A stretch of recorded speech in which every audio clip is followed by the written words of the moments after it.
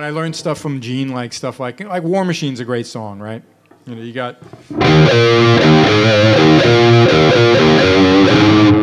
Now, your instinct might be to play it with vibrato. No, you know, with Gene, it's like.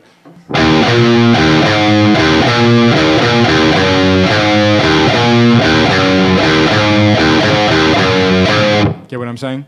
Really, that sounds like Godzilla, and it's really interesting how just. Well, that and that's what he is, you know. Gene, Gene's like this on stage, you know. Um, well, his bass playing, he's very underrated as a bassist. He's a terrific bass player, and believe me, uh, every note. I mean, I know I, I was showboating a little bit, taking credit for you know Psycho Circus playing the bass on that, but I'm imitating Gene doing, you know, if he was in Who, in the Who, you know what I mean.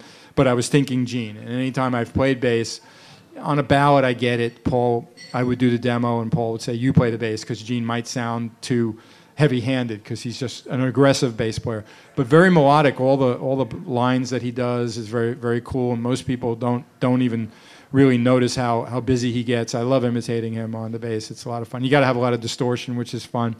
You know, he he loved Jack Bruce, you know, and, and Paul McCartney, you know, and and um, just and it was just a real real real treat to watch him, you know, be that way. But but his point of view about guitar and and everything, you know, I, I, I, it's hard to explain everything, but he likes it to be snotty. You know what I mean? He always wanted things uh, uniquely, like when we did. Uh,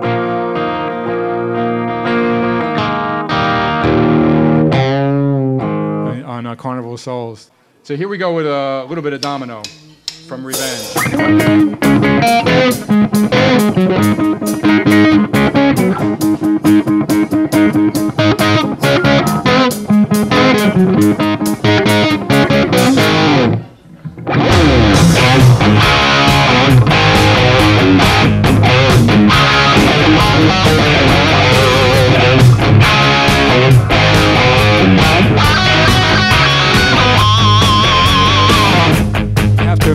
Gene's voice here.